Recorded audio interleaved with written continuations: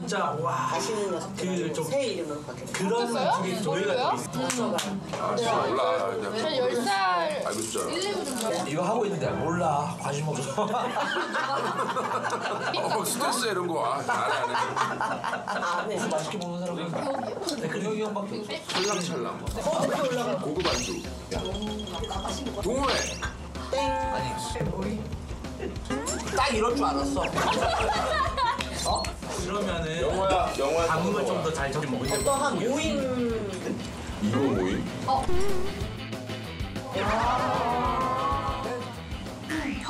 죽음 모임. 어? 맨 앞글자 하나 말이야. 진짜요?